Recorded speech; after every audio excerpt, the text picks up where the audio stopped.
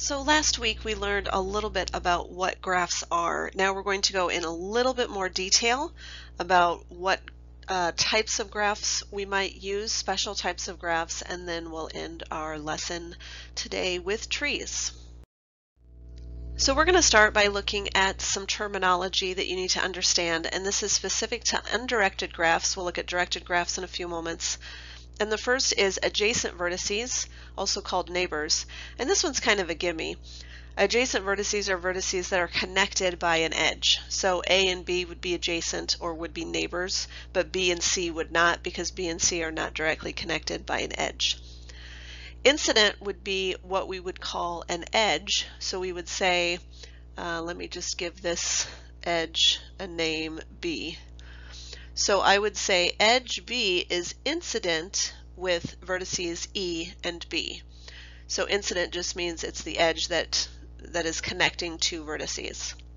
If we talk about the neighborhood, and you see in my next line, this is actually the notation that I would use for a neighborhood.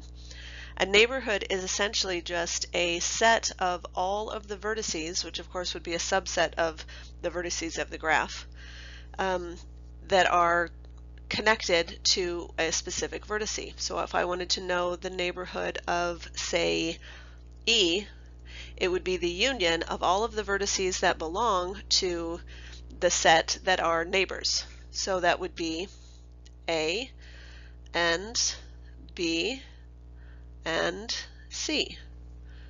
So obviously um, D would not be included because D is not connected to E. That brings us to degree. The degree for an undirected graph is essentially the sum of the number of ins and outs. So the number of vertices connected to that particular vertice. So the number of edges connected to the vertice. So for A, notice we'd have one, two, three, four. So the degree of A would be 4. So even though that loop is just really a line connecting itself, we do have to count it twice. For B, we have 1, 2, so the degree of B equals 2. If we're looking at E, the degree of E is 3. And then for C, 1, 2, 3, degree of C is 3. And then for poor D down here, the degree, whoops, the degree of D is obviously zero. So it is a vertex, but it is not connected, and therefore it has a degree of zero because there are zero edges coming out of it. We would call D isolated because obviously it's not connected to anything else. Um, the last one is a pendant, and unfortunately I didn't put that on your picture, but a pendant would be something um, that is essentially just connected uh, to one other edge. Let's say I had a square and then I had a guy sticking out like this. And so the pendant would be this guy because he is out here by himself and it is the vertex that is the pendant. So if this was point E, we'll just call these A, B, C, D. So E would be the pendant because it is the vertex that is connected only once to another vertex. So that brings us to the handshaking theorem. And the handshaking theorem started really with a question like the one I've written in green. Suppose there are six people in a room and each must shake hands with every other person. How many handshakes happen? So you can say I've already drawn the graph out for you really just to save time, but let's take a look just the long way counting this. I would count this as one, two, three, four, five. And then when I start with B, I'm not going to connect it back to A because B and A have already shaken hands. So we have five, this is six, seven, eight, nine.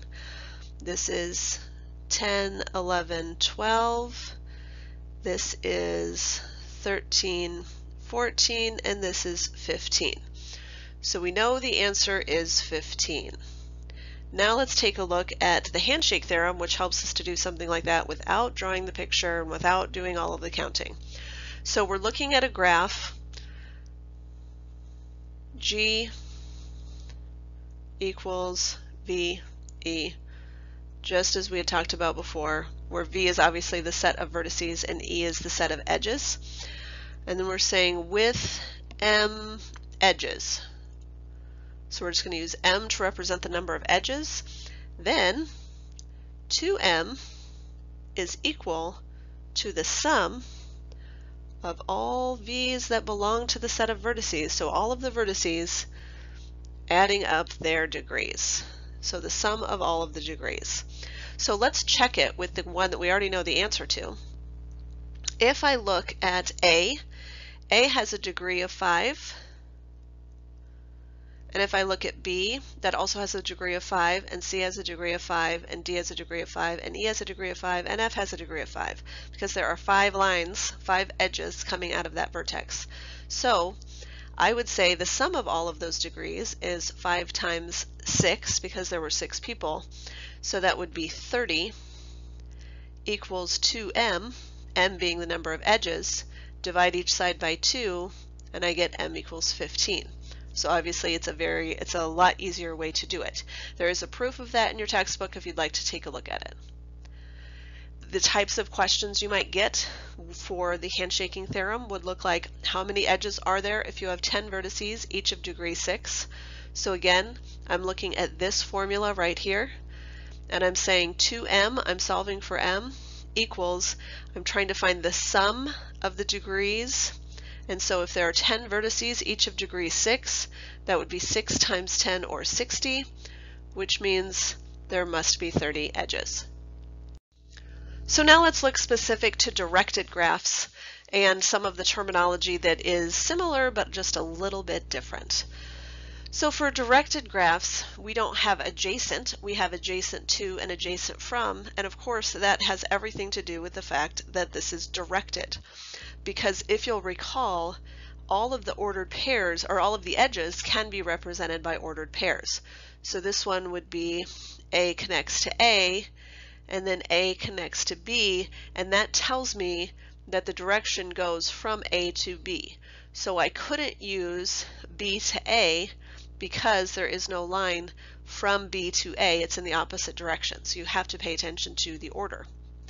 So picking on this guy right here, AB, A would be adjacent to